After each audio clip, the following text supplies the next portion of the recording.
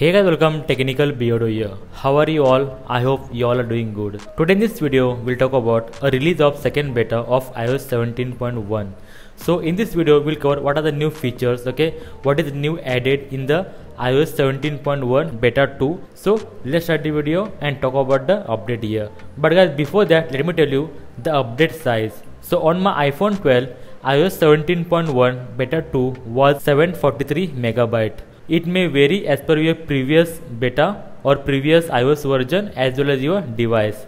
Okay, along with that, along with iOS 17.1 beta 2 update, Apple released iPad OS 17.1 beta 2, Mac OS 14.1 beta 2, also Watch OS 10.1 beta 2, also TV OS 17.1 beta 2 talking about here watch os here in this update apple has enabled a double tap feature in your new apple watch series as well as your apple ultra watch 2 so now getting back to the ios 17.1 beta 2 so guys here let's cover what are the features added. Okay? So first of all the main thing i will talk about here is your new ringtones. As we all are aware that in beta 1 apple has removed the ringtones which were available in your iOS 17 final release. So now they are back in your iPhone in your new ringtones as well as your new alerts. Okay, that's one thing. Second thing, we'll talk about your new standby feature.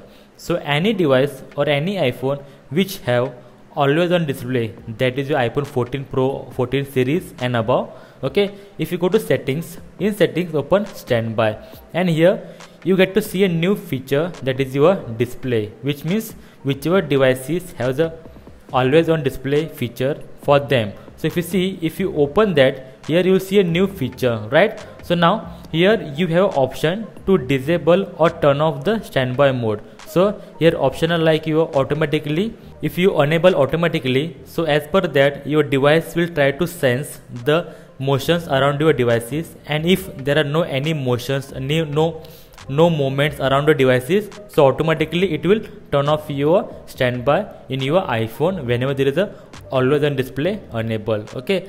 If not then you can enable or choose option called after 20 seconds. So here by default automatically after 20 seconds your display will go off or never as per your choice. Also night mode so in your always on display you can choose an option called night mode to view the standby option or standby feature so also there is one option called motion to wake. So in simple words it means that so whenever there is a motion around your device so here automatically your device will turn on the standby or always on display. So guys as per my finding okay these were the new two things added or new feature added or released in ios 17.1 beta 2 but there are two features other features like your battery or a charging optimization which is available only to iphone 15 and above series.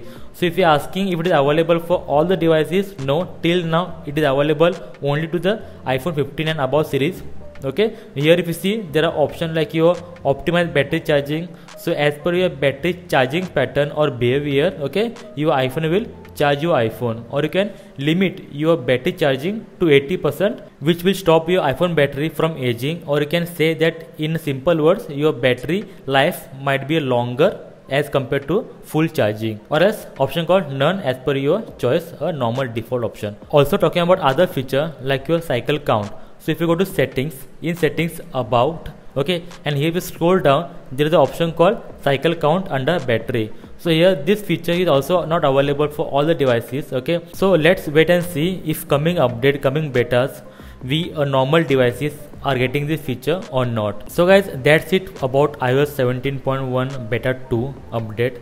And here if you're asking whether you should update your devices to this beta or install this beta then guys my answer will be yes you should install it. If you're already having a beta versions on your iphone then you should because these betas are always some fixes or new features released by apple. So whenever there is a issue or a bug in a main beta so then you get a small small beta updates for fixing the issue or new new features. So always go ahead try this beta small small betas releases because it is always a fixing errors.